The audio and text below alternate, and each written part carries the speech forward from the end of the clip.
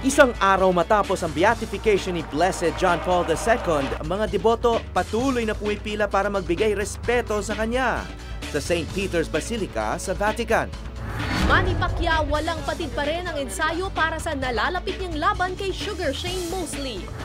At mga opisyal na litrato ng Duke and Duchess of Cambridge na si Prince William at Princess Catherine isinapubliko na.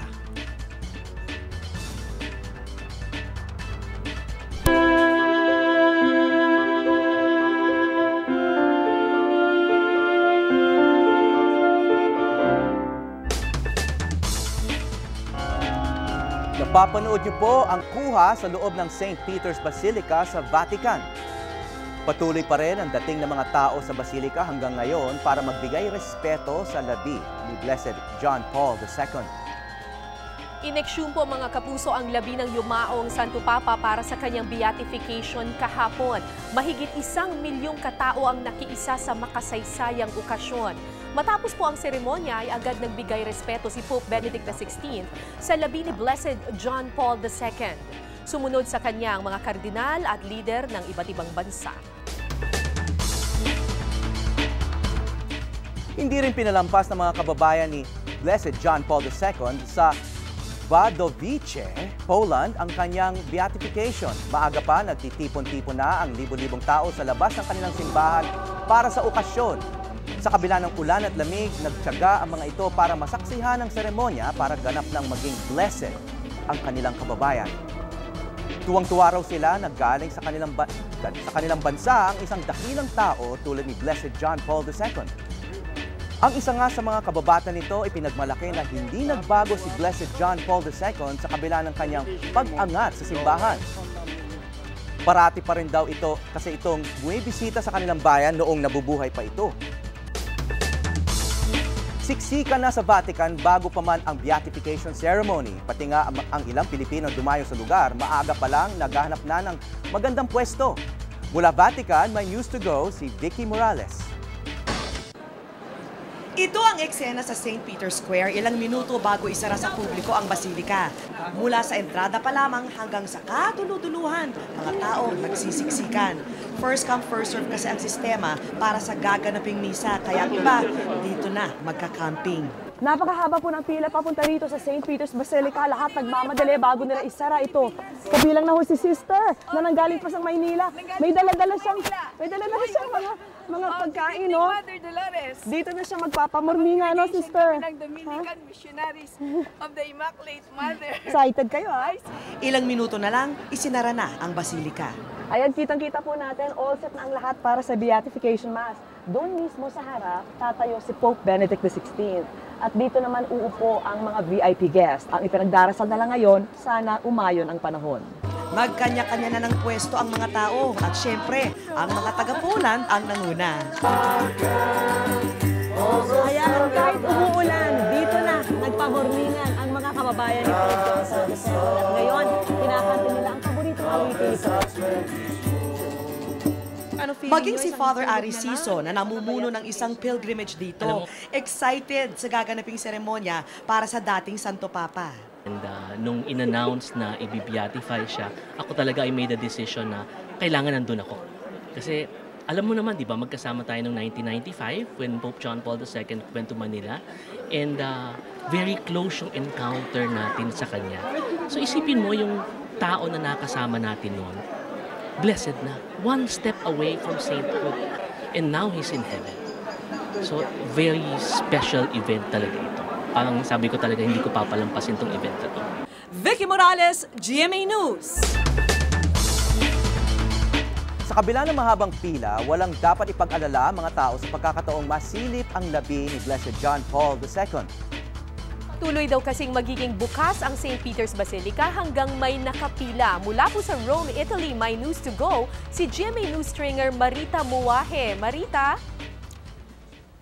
Good morning. Marami ang umiyak at naging emosyonal nang ipakita sa publiko ang larawan at iproklama ni Pope Benedict XVI ang pagiging ganap na biyato ni Pope John Paul II. Humigit kumulang sa isa't kalahating milyong tao mula sa iba't ibang bahagi ng mundo ang nagtungo sa Vatican upang makiisa sa beatification ni Pope John Paul II na tumagal ng halos tatlong oras.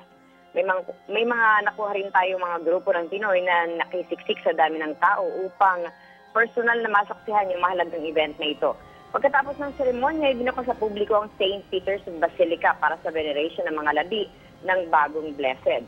Unang pumasok si Pope Benedict XVI na naging uh, o na personal nating nasaksihan. Kasunod nito ang mga cardinals, royal families, government heads and official delegations, ang mga may sakit at ang general public. Ayon sa ipromosyon na ibigay ng Vatican Information Service, hayaan nilang naka-expose ang mga labi ni Blessed John Paul II hanggang sa maubos ang taong nakapila upang makita ito at uh, makapasok sa Vatican.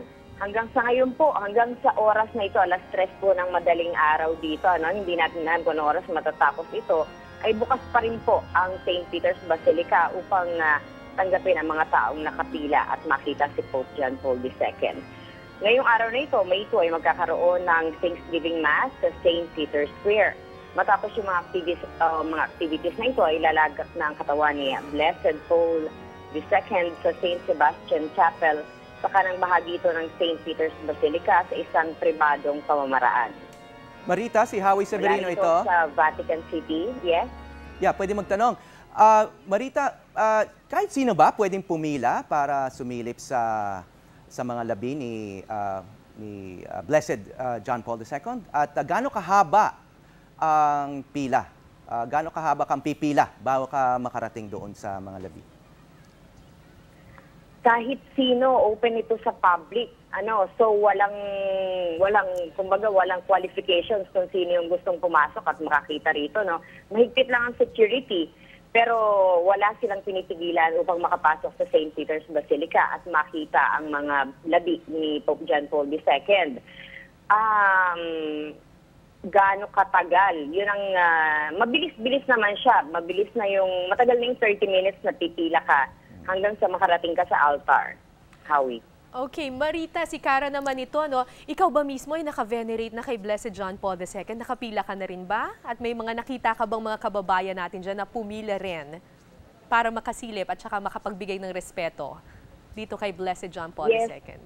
Yes, Kara. Kahapon mismo, pagkatapos na pagkatapos ng misa, ano, nasaksihan natin yung uh, unang-unang pumasok sa Vatican na si Pope Benedict XVI.